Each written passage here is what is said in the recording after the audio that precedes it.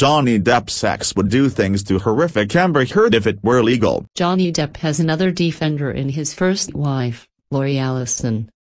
Allison, who was married to Depp from 1983 to 1985, appeared on the Popcorned Planet podcast and defended her ex and revealed her intense dislike for Amber Heard, Depp's wife from 2015 to 2017. I had met her before.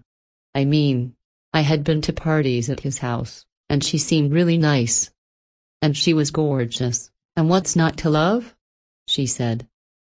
But as the time went by, and I would hear things about her, she who shall not might be named, he didn't seem too happy all the time. I didn't see him a lot, so I can't really say. The makeup artist went on to share her thoughts on watching last year's defamation trial. Depp had sued Heard for defamation after she wrote an op-ed implying he was abusive during their brief marriage. I just, the things that affected me more were the things he said in court. I probably broke down several times because I felt really bad for him, Allison said. You know, He's very private, which is why I don't do interviews. He's very private. And I think for him to come out so wholeheartedly was what he really needed to do. And I thought it was either going to be an epic train wreck or it was going to go really well. The jury found in favor of Depp, awarding him $10.35 million at the time. Heard later settled the suit, agreeing to pay him $1 million. Fox News Digital has reached out to both Depp and Heard's representatives for comment on Allison's interview. Allison also indicated she kept in touch with Isaac Baruch, a friend of Depp's who testified on his behalf during the trial, saying, I would call Isaac sometimes and go, What's happening? Is he okay? And he said, Don't worry. We're going to win this. And I would literally hang up the phone and walk around crying because I was terrified for him.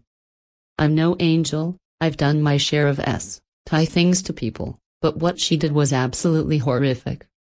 And if there were things that I could do to her that were illegal, I would do them. I would.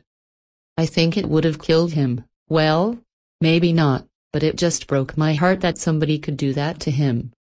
Allison, who was referred to on the podcast as Lori Depp, said she was so relieved I think I cried about the verdict in Depp's favor and she still has kind words for her ex.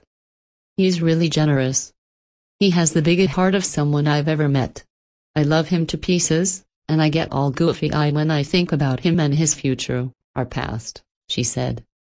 I want nothing but the best for him, and I hope he feels the same about me, she added, joking that people have told her she's the best ex-wife a person could ask for. Can I say bad things about him? I can say bad things about everybody, but there's no reason to. He makes normal mistakes like other people do. But, again, he's generous, kind. And I can't wait to be in a room with him again because I love to give him hugs. Depp is living in the English countryside in Somerset, according to People. The outlet reported that he gave an interview to local magazine Somerset Life detailing his more private life. In truth, I'm quite a shy person, Depp told the outlet. That's one of the great things about Britain, and especially Somerset. I can just be me, and that's nice.